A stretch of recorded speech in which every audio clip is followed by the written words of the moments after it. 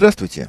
Людям, навсегда запертым в офисах, посвящается путешественник Алексей Мочелов, журналист, ко всему прочему, в ближайшей перспективе писатель, вернулся после удивительного вояжа Волок за Кавказье. Леш, здравствуй. Добрый день. Я регулярно позванивал Леше, спрашивал, живой? И он живой, и машина живая. Я изумлен тому, что он вернулся. Ну, Леш, а теперь все по порядку. Ну, скажем так, я не имел морального права не вернуться, потому что я был все-таки организатором этого мероприятия, и, э, скажем, под свое честное имя я затащил в это самое Закавказье без малого 20 экипажей. Ну, в общем и целом, это 40 с лишним человек. Можно себе представить, какая ответственность лежала на мне, поэтому, в общем и целом, э, сгинуть в горах Закавказья было никак нельзя. Это мотострелковый взвод на наши деньги. 40 человек. Ну, я в этом ничего не понимаю, как, в общем, всегда я всяческим спецслужбам говорю, что я нигде не служил, не, не служу и служить не буду. Поэтому я ничего не знаю, и поэтому хожу по минным полям исключительно, как говорится, интуитивно. Ты так по географии этого вояжа, вкратце, чтобы все понимали, откуда и куда. Э, значит, э, предыстория э, данной экспедиции следующая. В прошлом году Э, мы одним единственным, э, одним единым экспедиционным маршрутом э, замкнули все наши северокавказские республики. То есть мы стартовали в городе Новороссийск и прям по хребтам прошли до Дербента. Соответственно, не объезжали даже горячие точки, то есть прошли через Ингушетию, через, через, через Дагестан, да, согрелись и прекрасно финишировали на Каспийском море.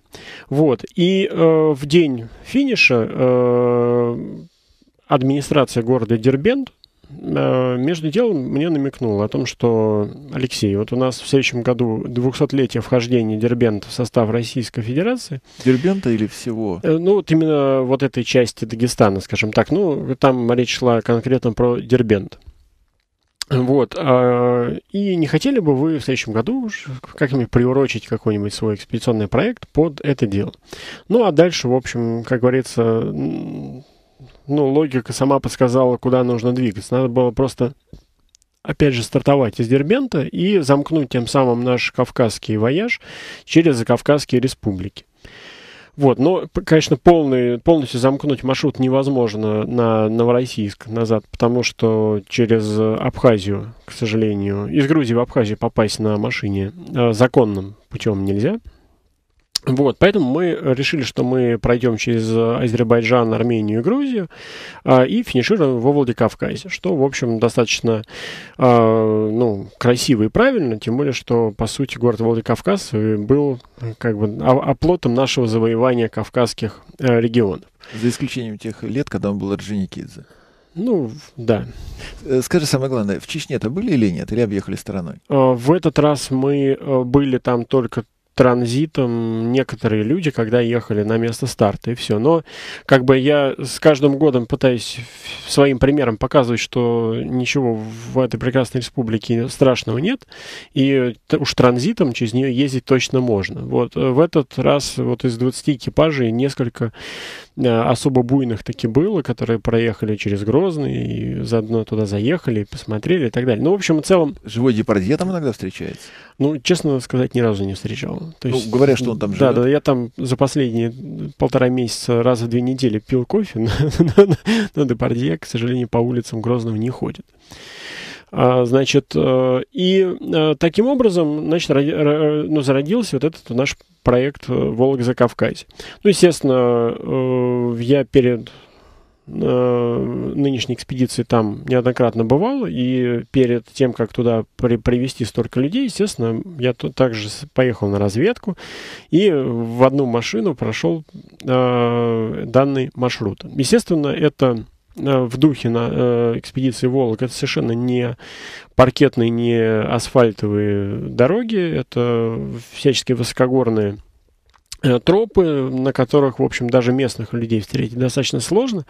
И многие местные даже и не в курсе, что есть такие э, пути, как говорится, у них в горах. Тем более под машину. Ну, в общем, тем более под достаточно стандартные внедорожники, потому что, ну, на, на Кавказ мы как-то так не очень сильно акцентировали вопрос на размерах колес, там, на воздухозаборниках, на каких-то водных преградах или еще на чем-то. В общем и целом, э, намерение наше было в первую очередь созерцательно как-то изучить э, Закавказские республики в какой-то степени, э, окунуться в гастрономический туризм, ну и так далее. Ну, в общем, э, изначально э, мы не планировали какого-то сумасшедшего экстрима. Понятное дело, что он все равно был, понятное дело, что все равно часть машин была разложена на запчасти э, и оставлена в разных сервисах и так далее. Но вот на сегодняшний день, на день сегодняшнего эфира уже, в общем и целом, все машины вернулись в порт приписки, все экипажи живы-здоровы. Даже женский. Да, даже женский, хотя, кстати говоря, это впервые за, за историю Волок у нас был чисто женский экипаж, где и пилот, и штурман, соответственно, дамы. Вот, правда, обе, обе дамы очень такие опытные дамы, но факт остается фактом. А, ну, как бы на них, конечно, все смотрели слегка косо, особенно с учетом э, ментальности закавказских республик. Вот, но при всем при этом это не, не мешало пройти первый этап, и вот на втором этапе, ну, на границе, скажем, скажем, между первым и вторым этапом уже так порядочно приложить машину об камень Toyota Hilux и остаться без переднего привода. Ну, то бишь, остаться в заднеприводном варианте, а на моноприводном автомобиле, в общем, продолжать движение было практически бесполезно, потому что, э, ну, маршруты хотя и не тяжелые, но горные. А в горах, в общем, ну... Все четыре колеса играют да, роль. Да, да, да, есть нюансы, да, как говорится. Вот, поэтому, в общем, падеж техники некий был, э, досталось, в общем, и всем в какой-то степени. Как всегда, лучше всех себя чувствовали лонгкрузеры, подержанные сотые. Всех времен народов. Да-да-да, вот уж, э, как говорится, сколько времени прошло с тех пор, пока, как их перестали выпускать, а они ездят и ездят, и, в общем, даже как-то на них неинтересно смотреть и неинтересно рассказывать. Вот. А я же, соответственно, как организаторскую машину получил в э, Рольфе Mitsubishi Pajero 4 и дизель-бензин. Дизель 3.2 200-сильный. И, соответственно, на нем я прокатал всю предварительную разведку, а потом еще проехал вместе со всеми остальными участниками. Итого у меня получилось 14 тысяч километров в общей сложности, из них 8 по горным серпантинам, причем это без асфальта. вот. Так что э, все, естественно, ждали, и уж в Рольфе тем более, с замиранием сердца, когда же, наконец, э, данный автомобиль не доедет, но он доехал. Вот я сейчас прямо перед тем, как при, прибыть э, в вашу прекрасную студию, был у одного, э, мягко скажем, очень серого дилера, ну, даже не дилера, в общем, Независимого. Да, да, да, очень, э, да, в таком серьезном сервисе, который, по сути, занимается подготовкой Паджеро к ралли-рейдам. Ну и вот заодно они проверили машину на профпригодность, посмотрели, что я ей оторвал. А, и, э, ну, в общем, в целом развели руками, потому что с технической точки зрения автомобиль оказался полностью исправен. Но считывание любых ошибок показало, что все нормально. Вся подвеска на месте. Ну, понятное дело, что подсели слегка амортизаторы. Понятное дело, что ничего не осталось от пластикового обвеса. Вот, были согнуты в бараний рог там все возможные защиты. Ну, то есть визуально машина выглядит сейчас не очень хорошо, я бы сказал. Не, не парадно. Да, не парадно, да. То есть на работу ездить можно, но ставить нужно за углом, чтобы, как говорится, коллеги не, не показывали пальцем. Вот, но при всем при этом ездить на работу можно. Заводится, едет, и причем имеет да. полный привод. Да, да, да, это, конечно, поразительно. Э, притом нужно же а, понимать, что Pajero выпускает э, практически эту машину без заменения последние 15 лет, да, потому что разница между третьим и четвертым Pajero, в общем-то, небольшая. И э, достаточно обидно вскрыть э, такую надежность данного автомобиля через 15 лет после начала ее выпуска. И самое главное, практически уже перед снятием ее с производства. Э, в общем, целом можно было жить э, долго и счастливо и ездить на этом автомобиле. Ну, вот, кстати, хотя... кстати, может быть, они его и не снимут, может быть, они из него сделают Паджеро 5, потом 6, потом 7, такое у них тоже бывает. Ну, бывает, но, честно говоря, мне кажется, что все-таки уже дальше некуда, потому что все-таки машина порядочно подустарела по именно ну, эксплуатационным в основном характеристикам, да, потому что э, если брать за точку отсчета там такие параметры, как там комфорт, шумоизоляция или еще что-то, то, в общем и целом, автомобиль уже прошлого века. Перерыв на новость. Алексей Мочелов, Волок Закавказье, вернулся. Да, в общем, мы уже здоровались. А, ну, рад тебя видеть. Каждый раз ну, рад. Как, как говорится, продолжим а, песни о главном. Вот, в общем, а, подводя черту под э, выносливостью Паджеро, в общем, не хочется как бы, э, чтобы моя, скажем, похвальба этой машины была совсем уж такая прям похожая на некую рекламу, но общей сложности это сам факт того, что автомобиль вернулся в целости в Москву, это уже очень почетно. И э, самое главное, что он позволяет сейчас ездить на, на, на нем каждый день по городу, но вот уже второй день как. Вот, и особо как бы не, не, не спешит ехать в сервис. Это очень важно. Вот. А о том, что дороги жесткие, в общем-то, я думаю, что любой человек, который хотя бы раз в жизни был или в Армении, или в Азербайджане, или в Грузии, в общем и целом мог себе представить, на что похожи горные серпантины, которые без асфальта. То есть это, ну, мало того, что это просто грейдерная дорога, так еще вдобавок в нее как бы вмонтированы огромные валуны, а, и ну, Костотряс просто сумасшедший. Опять же, Паджерик, он далеко не очень комфортный автомобиль, то есть он плотненький, жесткий, такой больше ближе к раллийным болидам, поэтому если ты на нем ездишь там не день, не два, а там неделя-две, то от этой вибрации, ну, в общем, в целом уже начинает так как-то все, все везде чесаться, как говорится. То есть машина зубодробильная совершенно. А если бы ты был на Дефендере? А, я лучше бы не был бы на Defender. вот. это, это один из тех случаев, когда я совершенно не жалею, что мой Defender отдыхает на севере. Вот. На, на Кавказе, на самом деле, делать на нем нечего. Я э, на одном из погранпереходов, а их у меня было, я не знаю, штук 10, наверное, за вот этот месяц, э, разговаривался с э, грузинским, как это, сотрудником, ну, с паспортистом, наверное, так правильно сказать. А он оказался тоже э, нашей джиперской формации, и он, когда увидел Паджеро, он увидел, значит, то, что на ней организаторские наклейки, э, значит, он прокомментировал это так, что, говорит, вот у нас в горах, говорит, э, Паджеро это идеальная машина, особенно если она трехдверная. Потому что на всяческих соревнованиях, триалах и так далее, вот именно трехдверки, они практически вне конкуренции, потому что машина очень устойчива к опрокидыванию, при всем при этом она прочная, позволяет на ней вот именно так брать э, таким как-то задорным горским нахрапом, вот, и при этом машина не разваливается. Это очень ценное качество. То есть, естественно, понятное дело, что есть и более проходимые, более прочные машины, но вот этот вот баланс между управляемостью и прочностью, и еще вдобавок проходимостью, это э, удалось, в общем-то, не, не, немногим. И именно по этой причине до сих пор в ралли-рейдах четвертый Паджеро далеко не редкий гость.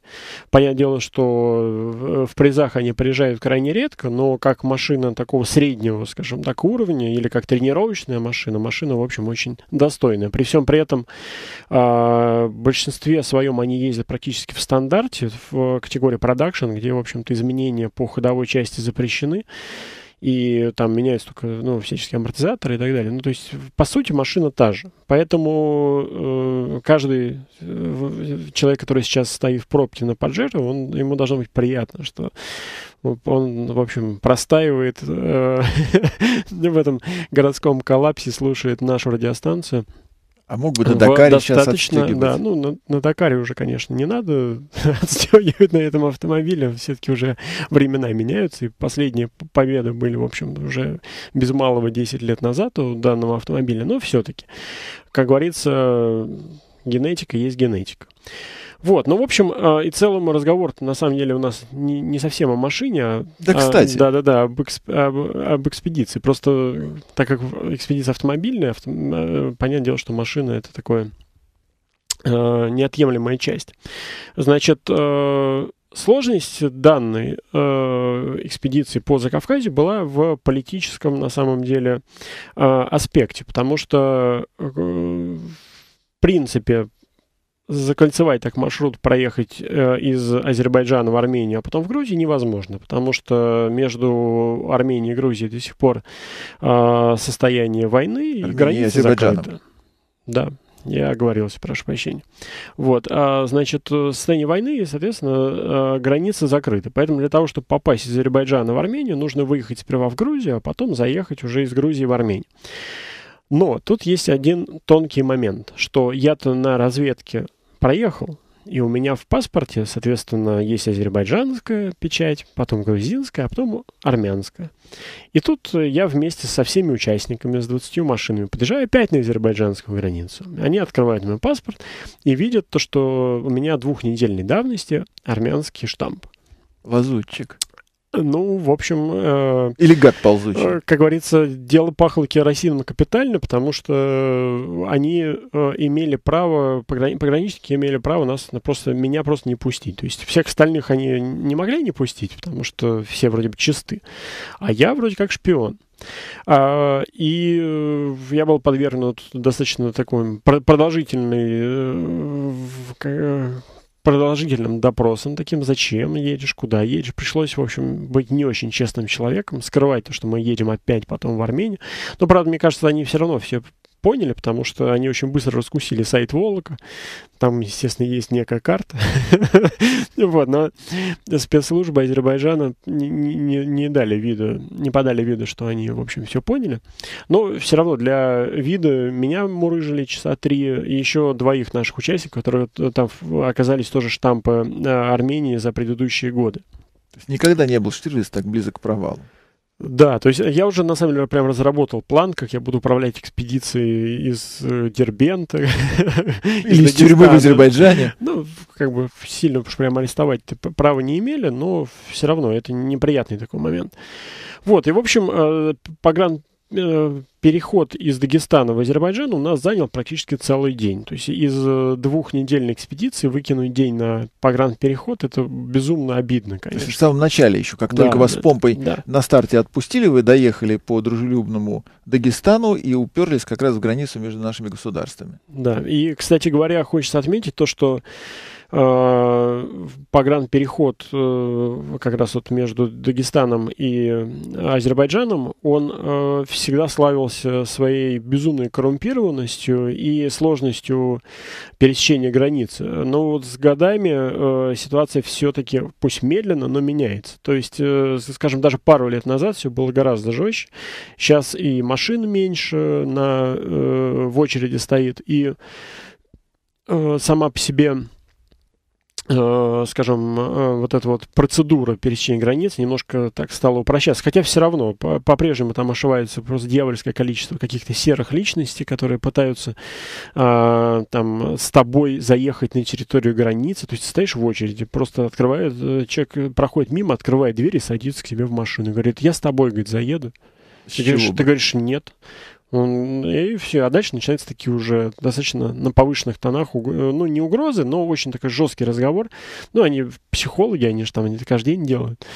Вот, и, в общем, ты начинаешь выгонять их просто, там, кричать, что там ты везешь каких-то наркодилеров и так далее, то они вроде разбегаются. А подоплека-то их прорыва в машину в чем? А, очень сложно понять, что они там делают и э, какие махинации они проворачивают. Но факт остается фактом, что вот когда стоишь в очереди перед, э, э, на российской стороне, перед азербайджанской границей, огромное количество каких-то странных мужчин пытаются проникнуть на территорию границы вот именно так вот. То есть как бы не на своей машине, не пешком, хотя там есть пешеходная граница.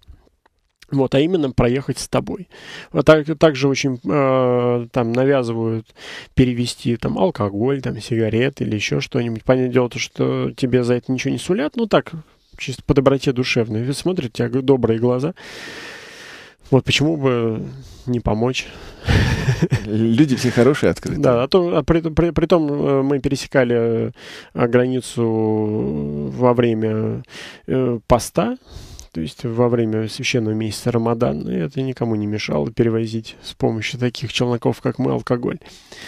Вот. Но ну, границу все-таки преодолели. Да, границу все-таки пре- преодолели, э, и Хочется отметить то, что как ты только попадаешь на азербайджанскую сторону, ты понимаешь то, что, э, в общем и целом, отделение Закавказья от Российской Федерации пошло скорее им на пользу, потому что э, азер- азербайджанская сторона выглядит просто потрясающе. То есть там разбиты сады, э, там ходят совершенно такие опрятные, такие красивые пограничники. Ну, то есть там вот порядок сумасшедший. То есть контраст между российской КПП и азербайджанским, он, э, ну, такой же, как между Сове Советским Союзом и Европой был. Ну, вот можно так вот э, примерно описать. То есть, грубо говоря, у нас там чуть ли не вагончики, вот, а там, там мрамор там и так далее, с павлинами. Асфальт-то есть?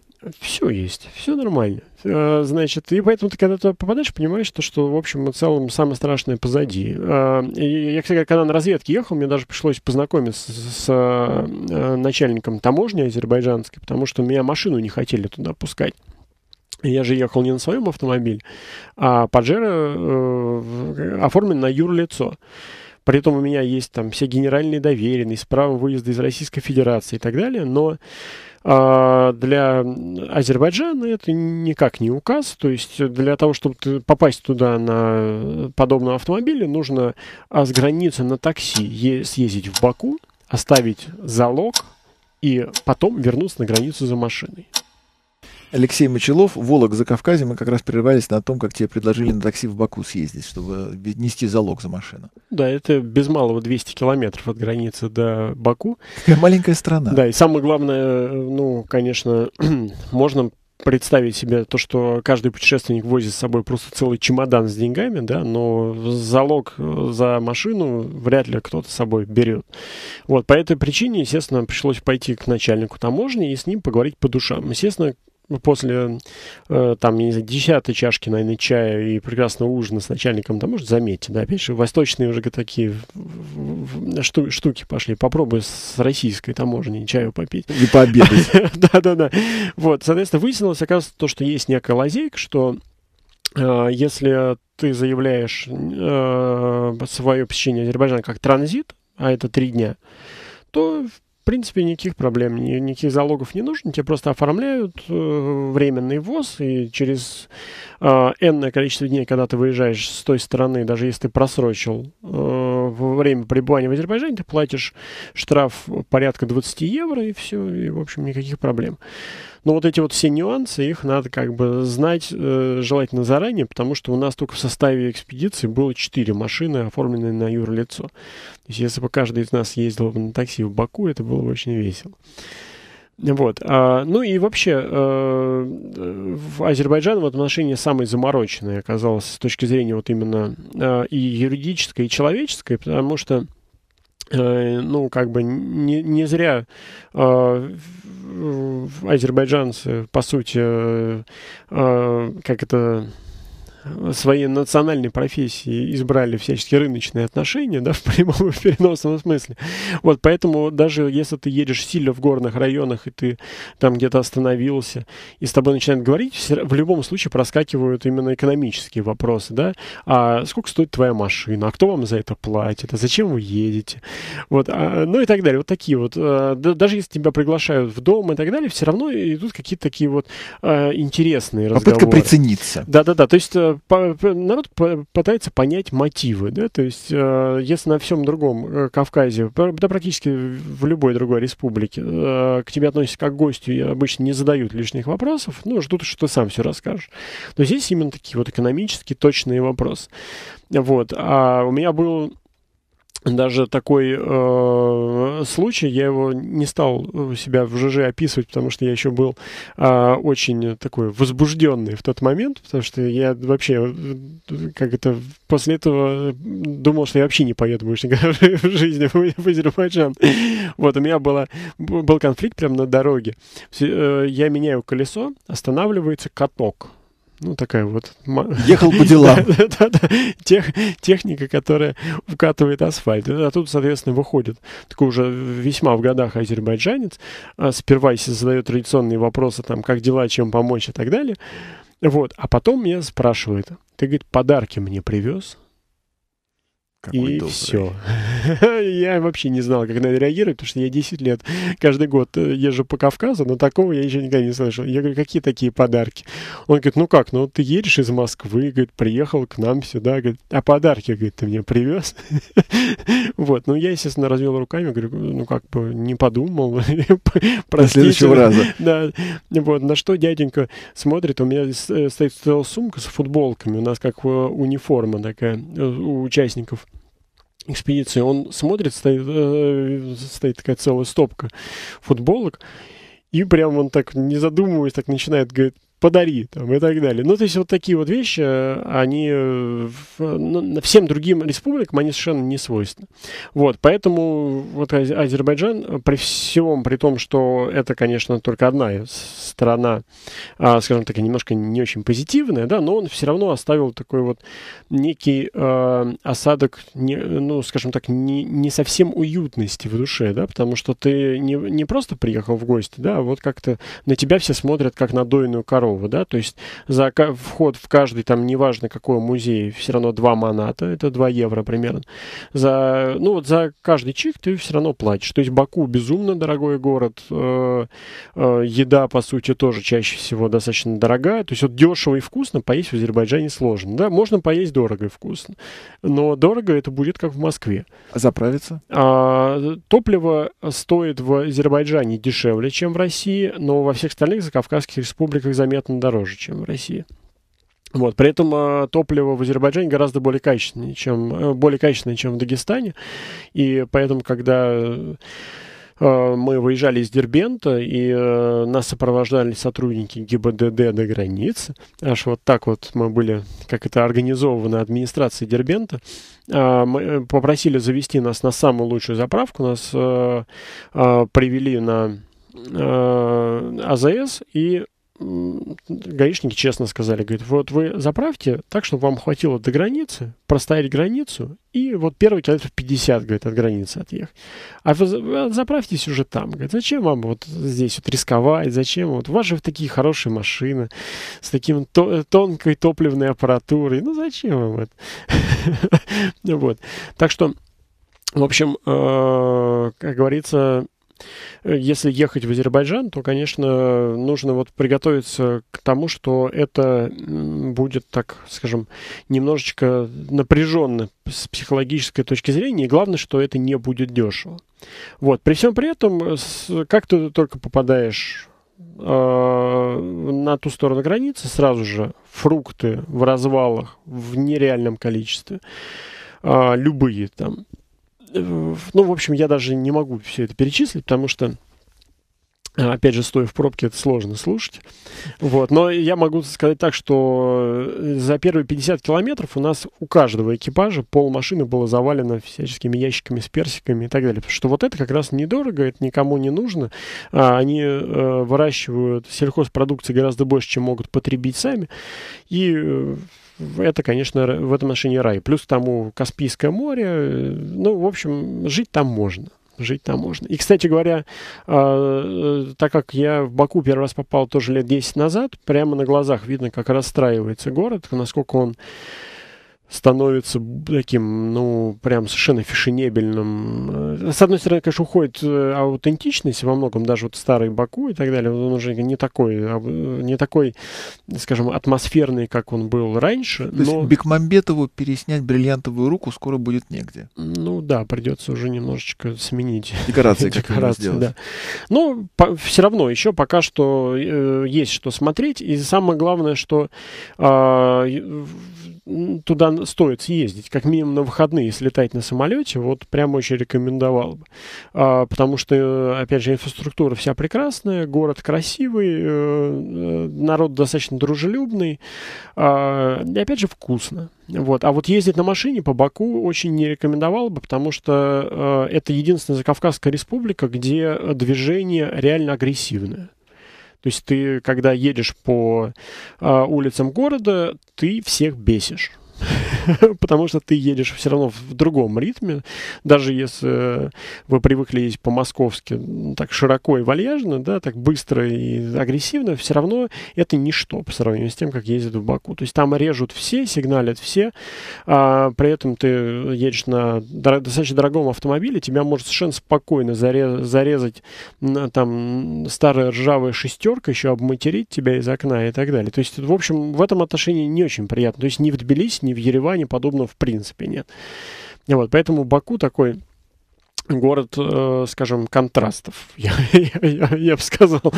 Вот. Не всем понравился. И поэтому у нас среди участников очень сильно разделилось мнение вообще и об Азербайджане, и об Баку. То есть, если, скажем так, Грузия понравилась 95% участников однозначно, то вот Азербайджан 50 на 50. А, и это на самом деле такой, ну, в общем, хороший звоночек точки зрения, э, э, скажем, ваших планов о каких-либо путешествиях. То есть, если э, у вас такая тонкая душевная организация, и вы очень как бы чутко относитесь к тому, как вот с вами общаются местные, как вам отвечают продавцы в магазинах и так далее. Ну, Азербайджан я бы не очень рекомендовал. Сидите дома тогда. Да-да-да. К тому же по-русски понимают только поколение, кому за 40. А молодежь говорит только либо по-азербайджански, либо по-английски. А, э, я общался со стариками, все говорят, что, в принципе, если а, у молодого человека есть английский и русский, у него прям зеленая полоса будет всю жизнь, да, то есть он всегда найдет, где работать и так далее. Но многие представители подрастающего поколения не, не говорят ни на каком, кроме азербайджанского, и поэтому какая-либо коммуникация очень сильно затруднена. И, кстати говоря, э, у меня даже сложилось такое, скажем, наверное, немножко обидное определение вообще касательно всего Азербайджана, что все, кто могли уехать, уехали. А, с русским языком. Да, вот все, кто могли оттуда уехать, реально все уехали, потому что населения реально немного, а, мужское население, которое а, особенно живет в районах, чаще всего отличается а, безумной ленью, и они ничего не делают. То есть работают женщины в основном. И ну, у меня было много диалогов разных с местными мужиками, и ну, спрашиваешь, ну а почему вот сейчас вот разгар рабочего дня вы вот сидите и ничего не делаете? Они говорят, ну, говорит, как бы работы нет. Я говорю, ну как же нет? Ну вот можно туда пойти. Ну, видно же, там все равно есть там и кафе, рестораны, и гостиницы. Причем они сами же говорят, что нет рабочих рук, там, ну, и работать некому и так далее. Э, ну, они говорят, а там мало платят. Я говорю, ну, вы пойдите и поработайте хотя бы за то, что платят. Нет, мы не будем так работать, мы будем семечки лоскать и так далее. Ну, в общем, есть вот такие определенные перегибы. Поэтому люди, э, видимо, более-менее предприимчивые и способные к труду, они давно уехали, в моем понимании. Вот, либо они живут в Баку, но, как я понимаю, э, в Баку в основном живет административный аппарат и люди, приближенные к власти. Ну, хорошо живут. Опять же, экономика такая очень специфическая. Нефтеналивная. Ну, в общем, да. Хотя, когда ты переезжаешь через границу в Грузию, например, сразу видно, что у кого есть нефть, а у кого нет. Вот Азербайджан в отношении, он очень э, нарядный такой. Там, ну, видно, что все сделано на показ. То есть у нас деньги есть, как говорится. Переезжаешь в Грузию, и сразу все становится скромнее. Хотя э, в Грузии, например, все равно выглядит очень нарядно и богато по сравнению с Арменией. Потому что когда ты попадаешь в Армению, у тебя прямо сразу становится э, так, их жалко. вот, вот просто жалко, потому что каждый э, армянин, опять же, старше 40, все э, безумно скучают по Советскому Союзу, очень жалеют э, о том, что Союз распался. А Горбачеву приходится очень нелегко с той стороны. То есть я думаю, что такого количества проклятий он не слышал никогда в свой адрес, сколько услышали мы за несколько дней пребывания в Армении. А, ну и, в общем, видно даже по домам, что раньше при Советском Союзе жили там реально хорошо. А сейчас, э, ну, села полупустые, как бы в горных районах там как-то сельское хозяйство более-менее живет, но все равно, скажем, так, есть некое такое уныние во всем. А, и опять же, вот ты встречаешь любого человека, и он тебе сразу говорит, да, ты вы из Москвы, да, я тоже был в Москве, у меня пол, пол семьи живет в Москве и так далее. Или там э, ссылки идут нам на Сургу, на Сургу, там на Ханты-Мансийск, на любой город российский. Но вот эта вот э, наша взаимная связь, она просто настолько огромна, что ты как будто не за границу поехал, а вот в какой-то наш очень удаленный субъект федерации.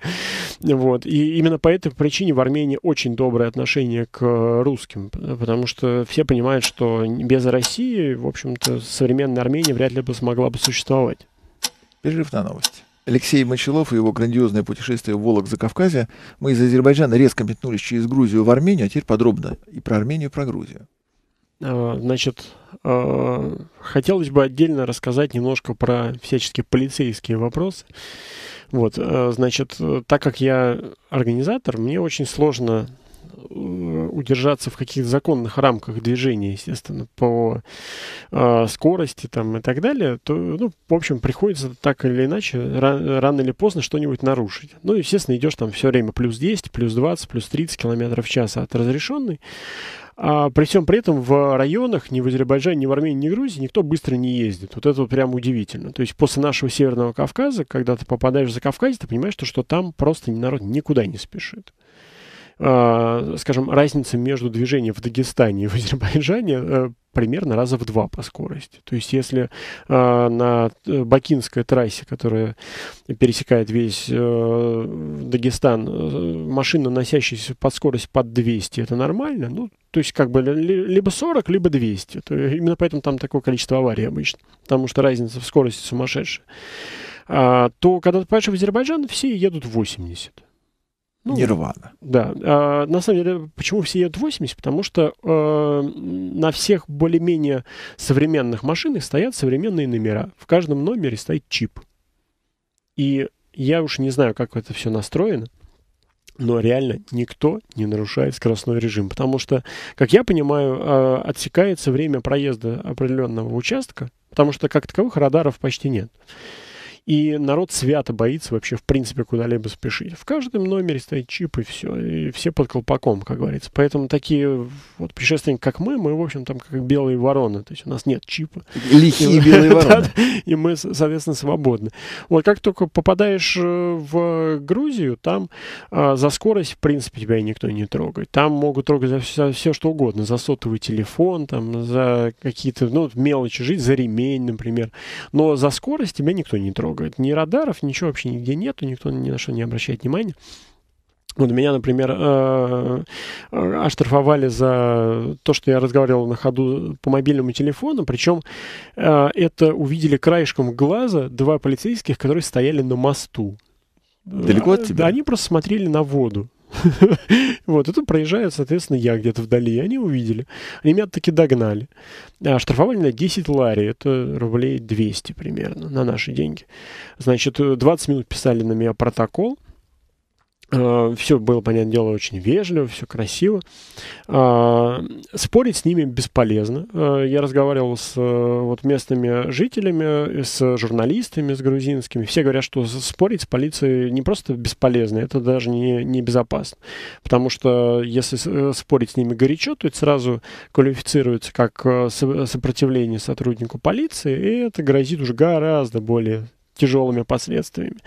И то же самое касается неоплаты штрафа. Я был предупрежден о том, что его надо оплатить обязательно. И когда э, переезжал через границу, он у меня уже был оплачен. И при пересечении границы у меня уже в личном деле, я прям сам видел, был, э, как висел мой штраф и э, пограничник э, был очень рад, что у меня все оплачено. А если бы я не оплатил, то эта сумма через 30 дней начала бы расти в геометрической прогрессии. И, э, ну, опять же, по слухам, бывают случаи, когда человек приезжает в следующий раз, он свободно заезжает на территорию Грузии, а потом ставится перед фактом, что штраф из 200 рублей вырос в 40 тысяч рублей, и хорошо бы его заплатить. Машину можете оставить здесь. Да, то есть, в общем, но э, есть чему на самом деле учиться. То есть, э, ну, вот я прям вот на всю страну могу сказать, что я являюсь злостным неплательщиком штрафа, хотя бы из-за того, что мне банально неудобно, некогда и неохота этим заниматься. Но если бы каждый раз, когда я улетаю и прилетаю из нашей страны в какую-нибудь командировку э, на, э, скажем, на границе, просто так вот выезжал бы штраф, я мог бы прям тут же оплатить в соседнем окошке, как это сделано в Грузии, я бы, наверное, оплачивал все свои штрафы. Вот, потому что это реально сделано удобно. Это вот очень приятно, потому что я на границе стою просто в очереди, пошел и оплатил. Это специальное окошко, куда надо да, платить. Да, да. То есть сделано на самом деле все очень удобно. То есть э, есть некий, конечно, такой тоталитаризм с точки зрения того, что полиция однозначно права, а, а протестовать штрафы невозможно. То есть ты можешь подать в суд, но э, суд скажет то, что мы не имеем каких-либо причин не доверять сотруднику полиции, поэтому мы все равно виноваты. То есть доказать о том, что ты не говорил по телефону, нельзя. Да? Не, не, не нужно никаких видеозаписей, ничего. Полицейский сказал, что ты говорил по телефону, значит, ты говорил по телефону, вот и все. То есть вот эта наша презумпция невиновности в Грузии не работает. Вот. А в Армении наоборот. А, там э, меня останавливали несчетное количество раз, потому что все радары у полицейских машин, а полицейских машин там примерно так же, как таксистов, их огромное количество, а настроены на скорость плюс 10. То есть, соответственно, если ты едешь под знак 40-51, тебя уже догонят и остановят. А любой там непротертый номер или еще что-то прям однозначно остановят. Но при всем при этом меня ни разу никто не оштрафовал. Потому что, во-первых, они э, очень вежливые, во-вторых, они весьма гостеприимные. И когда ты вроде, ну, как бы достаточно по-доброму с ними разговариваешь, они тебе счастливо, э, желают счастливого пути, просят больше не нарушать, и все, и отпускают. Поэтому каждая страна, и вот э, вроде бы они все соседи, вроде бы расстояния очень маленькие между ними, а очень разное отношение полиции к э, дорожному движению, и уж тем более к таким путешественникам из далекой стороны России, как мы. А экипировка и машины какие у них? Ну, все очень на хорошем Богатые уровне. бедные. Соответственно, весь Азербайджан ездит на трешках BMW, вся полиция. Э, поэтому текать от них бесполезно точно. Э, соответственно, вся Грузия ездит на Шкодах Октаве, а Армения как получится. Очень в почете Toyota Corolla э, у, у полиции. Ну, все равно машина свежая. То есть на полиции никто не экономит.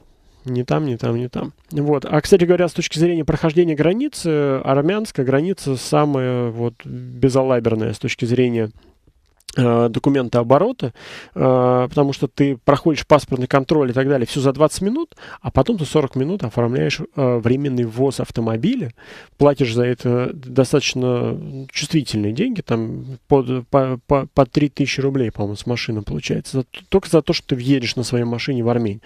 Но самое забавное, что когда ты выезжаешь назад, ты должен заплатить еще раз уже за вывоз автомобиля ну, там гораздо меньше суммы, там, может быть, ну, я цены говорю достаточно приблизительно, может быть, там порядка, там, тысячи рублей ты платишь в кассу за то, что ты выезжаешь.